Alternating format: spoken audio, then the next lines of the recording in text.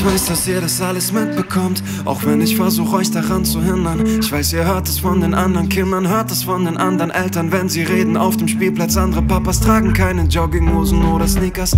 Andere Papas sind nicht auf den Titelseiten, andere Papas zahlen nicht bei Toys R Us mit lila Schein. Andere Papas werden morgens nicht geweckt von Polizisten. Andere Papas werden nicht genervt von Fotoblitzen.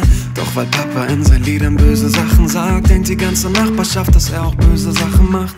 Aber Papa sagt die Sachen, die er sagt, nur damit er nicht mehr tun muss, was Papa früher tat. Papa hatte keine Wahl, nahm sich alles auf die falsche Art. Ich war auf mich allein gestellt, als ich in neuem Alter war. Bevor man mich für die Geschichten ins Gefängnis schlägt, entschied ich mich, sie aufs Papier zu bringen und jeder kennt sie jetzt. Seit meinem ersten Text bin ich bei ihnen verrufen. Die sind die Bösen wie die Guten. Natürlich sehen sie Fehler, wenn sie danach suchen. Die Auch wenn sie unsere Familie verfluchen.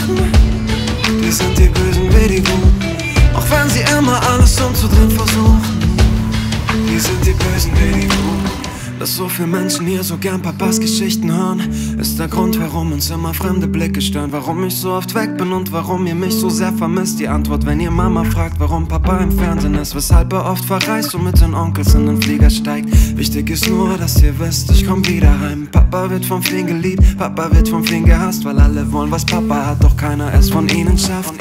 Und Papa ärgern ist, was sie zufrieden macht. Sie wollten uns schon alles nehmen, sogar euren Kita-Platz. Unsere Autos, die Computer, unser Haus und Garten. Deshalb müsst ihr, wenn die Polizei kommt, immer draußen warten. Sie wollen bestimmen über richtig und falsch. Doch die Welt, aus der euer Papa berichtet, ist kalt und Lügen ist auch. Wenn man schweigt, obwohl man die Wahrheit kennt, was zählt, seid ihr egal, was irgendwer von eurem Vater denkt. Seit meinem ersten Text bin ich bei ihm verrufen. Sehen sie Fehler, wenn sie danach suchen. Die sind die Bösen wie die Guten. Auch wenn sie unsere Familie verfluchen.